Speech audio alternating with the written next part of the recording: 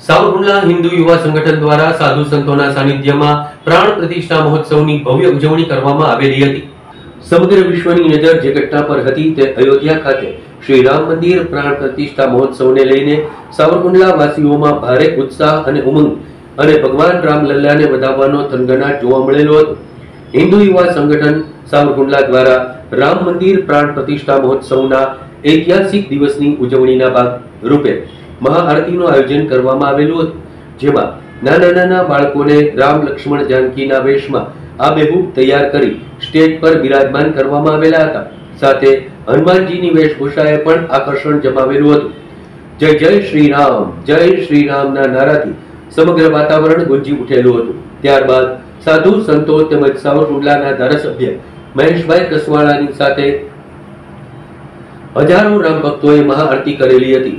અને ભગવાન શ્રી રામલલ્લાના અયોધ્યામાં પ્રાણ પ્રતિષ્ઠા મહોત્સવની ઉજવણી કરેલી હતી. આ પ્રસંગે આરતી બાદ ભવ્ય આતશબાજી કરવામાં આવી, જે લોકોના આકર્ષણનું કેન્દ્ર બનેલું હતું.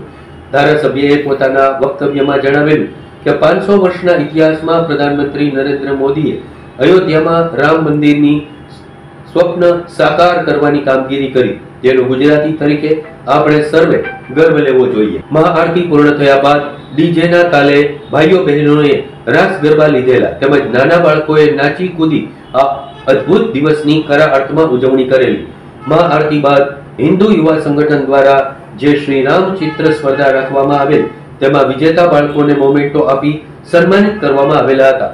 કાર્યક્રમના અંતમાં હિન્દુ યુવા સંગઠન વતી પ્રણવ વસાણી, સંસ્થાપક હિન્દુ યુવા સંગઠન દ્વારા સમગ્ર સાવરકુંડલા શહેરની જનતાનો અદ્ભુત સહયોગ આપવા બદલ આભાર વ્યક્ત કરવામાં આવેલો હતો.